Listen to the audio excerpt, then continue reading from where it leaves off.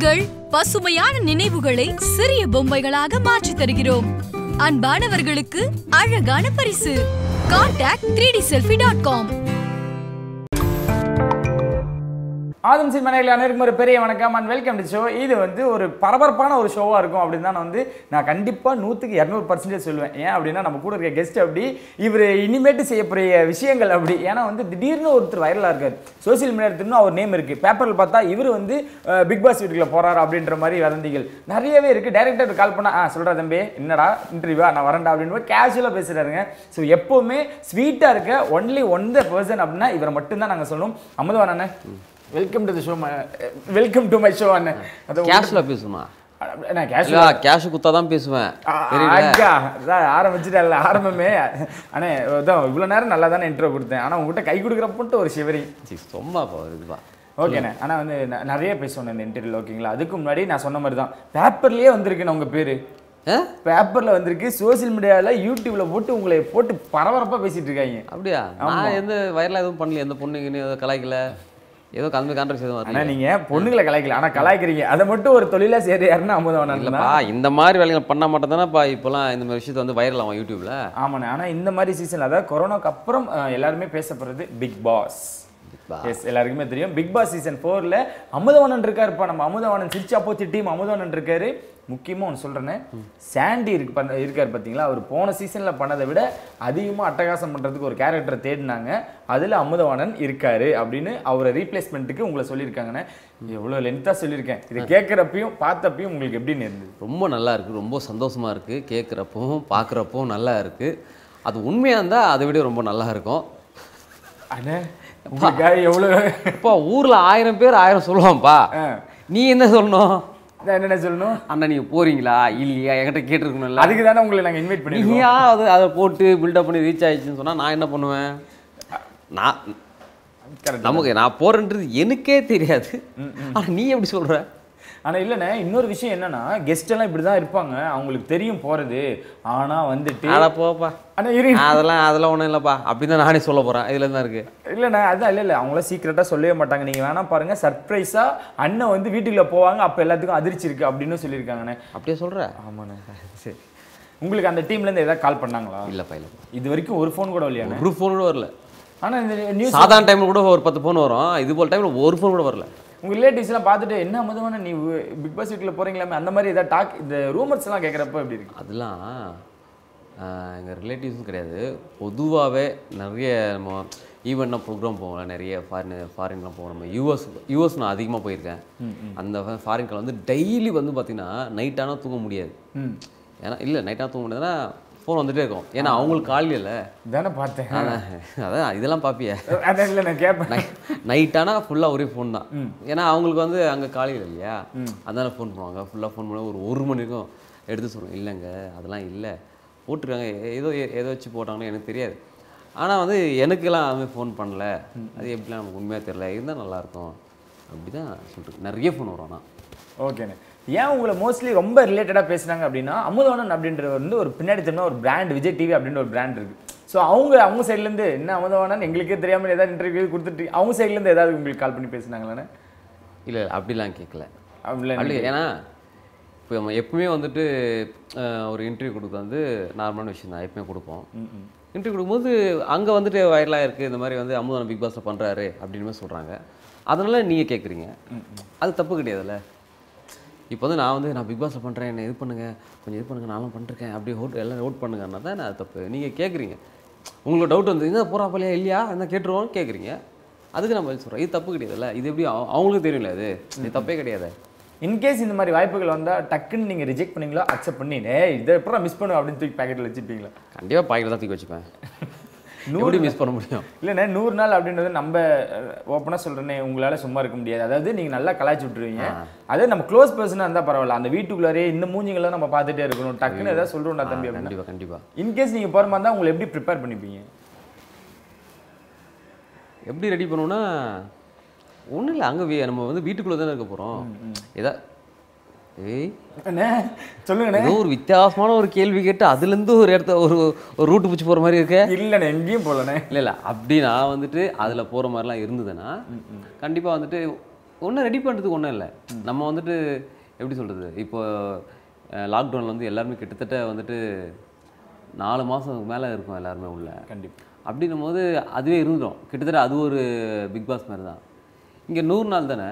அப்படி இருக்கலாம். ஆனால் என்ன ஒன்றா அதில் அப்படி சொல்லுவாங்க எல்லாருமே அங்கே போனால் தான் அதோட கஷ்டம் தெரியும். இது என்ன தான் இருந்தாலும் வீட்டில் எல்லாம் ஃபேமிலி பார்ப்போம் வெளில வரும் அதெல்லாம் போனோம் இப்படி இப்படி இருக்கும். ஆனால் அங்கே வந்துட்டு பார்த்தீங்கன்னா நூறு நாள் போது நம்ம பார்க்க தான் வந்துட்டு ஒரு ஏரியாக்குள்ளனா ஃபோன் பண்ணுவோம். நம்ம வந்து நார்மலாக நம்ம நினைப்போம் சரி நூறு நாள் எல்லாமே இருக்கலாமே இதில் தான் இருக்குன்னு போது அங்கெல்லாம் பார்க்குறோம் டிவிலனா நீங்கள் வீட்டிலேருந்து டிவியை பார்க்குறீங்க.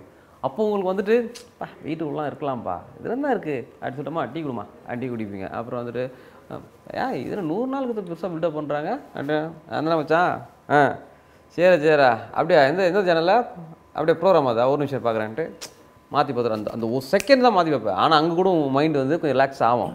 இங்கே அப்படி கிடையாது. இப்போ இந்த டீன்னு ஒன்று இருக்குல்ல அம்மான்னு ஒன்று இருக்காங்களே இது ரெண்டுமே அங்கே இருக்காது. டப்புன்னு ஒரு ஃபோன் வருதுல்ல அவங்க ஃப்ரெண்ட்ஸ் கிட்ட பேசுகிறல டக்குன்னு ப்ரோக்ராம் மாற்றல இந்த விஷயமும் இருக்காது. இது எதுவுமே ஒரு ஒரு ஆஃப் அன் ஹவர் இல்லைன்னா பரவாயில்ல ஒன் ஹவர் இல்லைனா பரவாயில்ல. ஒரு நாள் இல்லைன்னா கூட பரவாயில்ல. நூறு நேரம் இல்லைன்னா உண்மையாகவே அங்கே வந்து என்ன பண்ணுவ? நீ எதுவுமே பண்ணக்கூடாதுல்ல? போவ வருவ பேசுவ என்ன பண்ணுவோம் ஐயோ என்ன அப்போ இவங்க இருக்காங்களா? இவங்ககிட்ட தான் சண்டை போட்டானோ அவங்க இவங்ககிட்ட பேசி தான் ஆகணும். வேறு வழியே கிடையாது. தூங்கவும் முடியாது. எவ்வளோ தூங்கிட்டே இருப்பாங்க? அதான். அதனால வந்து நீ ஒரு குழப்பம் இருப்ப நான் ஒரு குழப்பம் இருப்பேன் பார்த்தியா ஆனால் அது ரொம்ப நேரமாக கேட்குறேன் ஆனால் வந்து உலக நாயகன். அந்த ஸ்டேஜில் பார்க்குறப்பையும் சரி ரெண்டு ப்ரோமோ ரிலீஸ் பண்ணியிருக்காங்க. எல்லாமே சரி. ஸோ வந்து அவரை பார்த்ததுமே நீங்கள் என்ன சொல்லுவீங்க? இன்கேஸ்னா இதெல்லாம் இன்கேஸ் தான் ஓகேங்களா? தலைவரை பார்க்குறீங்க அவர்கிட்ட ஏதாவது நீங்கள் பேசணும் அப்படின்னா. நாங்களாம் வந்து பார்த்தீங்கன்னா எங்கள் ஃபேமிலியில் வந்து எல்லாருமே வந்து கமல் சாரோட ஃபேன் எங்கள் வீட்டில் எப்பவுமே வந்து கமல் ஃபோட்டோ தான் இருக்கும். கமல் சார் ஃபோட்டோ தான் எப்பவுமே இருக்கும். எங்கள் அப்பா எங்கள் அண்ணன் எல்லாருமே. அதனால் வந்துட்டு அவர் அவர்லாம் பார்த்தோன்னா நான் வந்துட்டு உண்மையாகவே மெய் மறந்துடுவேன் நான். எப்படி சொல்கிறது பா பார்த்த உடனே இப்போ நான் ஒரு கா ரெண்டு ஒரு மூணு காம்படிஷன் நான் வின் பண்ணி டைட்டில் வின் பண்ணிக்கேன். வின் பண்ணும்போது ஒரு நம்மளை அறியாமல் ஒரு ஃபீல் வரல நானும் அழமாட்டேனே அப்படி தான் நான் சொன்னேன். அங்கே ஆனால் அங்கே போயிட்டு நான் அழுதுட்டேன். அந்தமாரி கமல் சாரை பார்த்தேன்னா உண்மையாகவே நான் வந்து அழுதுருவேன். ஏன்னா ஐயோ என்னடா ஏன்னா நான் வந்து அவரை நேரில் இது வரைக்கும் நான் பார்த்தே கிடையாது. அவரை வந்துட்டு எவ்வளோ பேர் பார்த்துக்கோ எங்கேயும் போயிருக்கோம். ஆனால் அப்புறம் இன்னும் ஒரு கிட்ட நேரில் பார்த்தது கிடையாது. அது ஒன்று அண்ணும்போது இவ்வளோ எவ்வளோ பேர் லெஜெண்டில் அவர் அவர் பார்க்குறோம் அவர் நம்மளை பற்றி பேசுகிறாரு அப்படிலாம் சொன்னால் எவ்வளோ ஜாலியாக இருக்கும்ல. அதனால் நான் அந்த இடத்துல வந்துட்டு அழுதுருவேன். அதுக்கப்புறம் அங்கே எப்படி நான் ரியாக்ட் பண்ணுறது எனக்கே தெரியாது. உண்மையாக சூப்பர்ண்ணே. அதாவது இந்த மூணு சீசன் முடிஞ்சிருச்சுண்ணே. இத்தனை சீசன்லாம் பார்த்துட்டு அமுதவானன் ஓகே சொல்லியிருப்பார். அவர் வாய்ப்பே இல்லடா அப்படின்ற மாதிரி இருக்கும். நீங்கள் வந்து சொன்னீங்க பேக்கெட்டில் நான் தூக்கி வச்சுப்பேன் அப்படின்னு. மூணு சீசன் பார்த்துட்டுமே எப்படிண்ணே நீங்கள் ஓகே சொல்லிடுவீங்க மூணு சீசன்லாம் பார்த்ததுனால தான் சொல்கிறேன் அப்படியா? ஆமா. அவ- அப்ப அண்ணனுக்கு தில் இருக்கு ஓகே தில்லுக்கு என்னன்னா எதுக்கு ஒன்றும் இல்லை. நம்ம எப்படி எப்படி நம்ம வாழ்க்கையில் வந்து நார்மலாக எப்படி இருக்கிறோமோ அதே மாதிரி தான் இருக்க போகிறோம் சண்டை வந்தால் சண்டை போட போகிறோம் பாட்டு போட்டால் டான்ஸ் ஆட போகிறோம் காமெடி பண்ண சொன்னால் காமெடி பண்ண போகிறோம் துணி துவைக்க சொன்னால் அங்கே துணி துவைக்க போகிறோம் குழம்புகளும் ஆக்க சொன்னால் அதை செய்ய போகிறோம் அவ்வளோதானே எல்லாமே பக்கா பண்ணிடுவீங்கண்ணே இருந்தாலும் உங்களுக்குன்னு ஒரு கேரக்டர் அந்த கலாய். பண்ணுவேன். அது பக்கவா இல்லைன்னா நமக்கு தெரியாது. ஆமா, அது அவங்க எடுத்துக்கிட்டோம். நம்ம சும்மா பண்ண வேண்டியது அவ்வளோதான் சூப்பர். ஆனா இருந்தாலும் உங்களுக்கு ப்ளஸ் அப்படின்னா அந்த கலாய். டக்குன்னு கவுண்டர் வரும் டைமிங் காமெடிலாம் வரும். ஸோ வந்து உங்களை அதிகமா அந்த கலாயில பார்க்கலாமா? இல்லை வந்து ரொமான்ஸ்லாம் கூட நிறைய வந்துட்டு இருக்கும். உங்களுக்கே தெரியும் மூணு சீசன்லையும் யாராவது ஒரு ஜோடி வச்சு பேசுவாங்க. சரி அமுதவண்ணன் வந்து நல்லா காமெடி பண்ணுவாரு. அவரை வந்து இல்லை நம்ம வந்து லவ் பண்ண வைக்கலாம். அதாவது ஒரு ஒரு சாக்லேட் பயா ஓகே வேணா என்ன ஸ்கிரிப்டுன்னு அப்ப அதெல்லாம் அதாவது ஓரளவுக்கு ஓரளவுக்கு தான் சில விஷயம் சொன்னால் கவுண்டர் அவங்க ஸ்பாட்டில் கவுண்டர் அடிப்பார். அவர் நல்லா காமெடி பண்ணுவார் டான்ஸ் ஆடுனா சரி. அப்படியே ஏற்றுக்கலாம் ஆ ஆ ஆ ஆனலாம் இந்த சாக்லேட் பாய்னா அதாவது அண்ணா அண்ணா ஓகேண்ணே ஸ்கிரிப்டுண்ணே இதெல்லாம் ஸ்கிரிப்ட் இல்லை ஸ்கிரிப்ட் தான். பார்க்குற ஆடியன்ஸும் பார்ப்பானுங்க இது பார்ப்பானுங்கல்ல இன்னும் விட்டுருவானுங்க. என்னதான் கலாய்ப்பான் டேய் நீ வந்து சாக்லேட் பாயா டக்க டக்க அடிப்பானு ஒருத்தன். எதுக்கு தேவையில்லாம? இல்லைண்ணே ஃபைட் அதிகமா வரும். அங்க ரொமான்ஸும் இருக்கு. அங்க ஜாலியான காமெடி சினாரியாவும் இருக்கு. உங்களுக்கு இந்த மூணுல நீங்க எது எடுத்துப்பீங்க? இந்த மூணையும் எடுத்துப்பேன். ஐயோ போதுமே போதுமே. ஆனா இன்னொரு விஷயம் வந்து முக்காவாசி ஸ்கிரிப்டட் அப்படின்ற மாதிரி எல்லாருமே சொல்லியிருந்தாங்க. ஐயா பிக் பிக் பாஸ்ல இருந்து வெளியே வந்தவங்க கூட இல்ல நான் அவங்க சொன்னதான் செஞ்சேன் அப்படின்னு ரெண்டு மூணு பேர் வாக்கு வாக்குமூலம் கொடுத்திருந்தாங்க. இப்போ நீ நீ சொல்றது எப்படி பாக்குது இப்போ நான் பிக் பாஸ்க்கு போற மாதிரியும் ஆ? அவ்வளவுதான். ப்ரோமோ வந்துருச்சு வந்துருச்சு. சொல்லுங்க. நல்லா. சத்தியமா அப்படிலாம் இல்லடா எனக்கு எதுவுமே தெரியாது. உண்- உண்மையா சொல்றேன்டா. ஓகே இல்லைண்ணே இந்த இதான் கொஸ்டினோட உங்களை பத்தி இதை கேட்கணும்னு சொன்னேன். அதுதான்டா வந்திருக்கு. இல்லைண்ணே இதை மட்டும் முடிச்சிடறேண்ணே இன்கேஸ் நீங்கள் போகிறீங்க ஸ்கிரிப்டடாக உங்கள்கிட்ட அமுதவானன் நீங்கள் இப்படி தான் பண்ணணும். போய் அவங்களை ட்விஸ்ட் பண்ணி விடுங்க. இந்த மாதிரி அவங்கள ஏதாவது ஏற்றி விடுங்க. இந்த மாதிரி பண்ணுங்க நடிங்க ஆடுங்க அப்படின்றாங்க. அவங்க சொல்கிறத செய்வீங்களா? உண்மையா சொல்றேன். உண்மையா வந்து பிக் பாஸ்ல வந்துட்டு அந்த ஸ்கிரிப்டட்ன்றாங்களே அதெல்லாம் கிடையாது. ஏன்னா இதுக்கு முன்னாடி நான் வந்து அச்சம் தவிர ஒரு கேம் ஷோ பண்ணியிருக்கேன். அதே விஜய் டிவியில் அச்சம் தவிர கேம் ஷோ பண்ணியிருக்கேன். ஸ்கிரிப்டெல்லாம் கிடையாது. அந்த காம்படிஷன் வரும்போது ஆட்டோமேட்டிக்காக உங்களுக்கே வந்துட்டு அந்த சண்டைகள்லாம் வர ஆரம்பிச்சிடும் இப்போ நீங்களும் உங்கள் அண்ணனும் ஒரு கேரம் போர்டு விளையாடுங்கன்னு வச்சுங்களேன் உங்கள் அண்ணன் தான் நல்லா தான் பேசுவீங்க எல்லாம் இது பண்ணுவீங்க. ஒரு பெட்டு வந்து ஒரு ஐம்பது ரூபா ஐம்பது ரூபா வந்து நீங்கள் பெட்டு வைக்கிறீங்க பெட் மேட்ச் பெட் மேட்ச் உங்களை ஐம்பது ரூபான்றது உங்களுக்கு பெரிய விஷயம் கிடையாது. உங்கள் அண்ணன் நூறுரூவா கூட கொடுத்துருப்பீங்க. போய்ட்டு ஒரு பிரியாணி கூட வாங்கி கொடுத்துருப்பீங்க. அது ஒரு இரநூறுபா இருக்கும். அதெல்லாம் பெரிய விஷயம் கிடையாது. இந்த ஐம்பது ரூபா ஐம்பது ஐம்பது ரூபா வச்சு கேம் விளையாடுங்களே அந்த கேமில் தோத்துட்டா ஒரு காண்டாவும் தெரியுங்களா கண்டிப்பாண்ணே ஆகுமா? உண்மையாக சொல்லுங்க ஆகுமா? ஆகும். ஃப்ரெண்ட் இருந்தால் கூட சரி.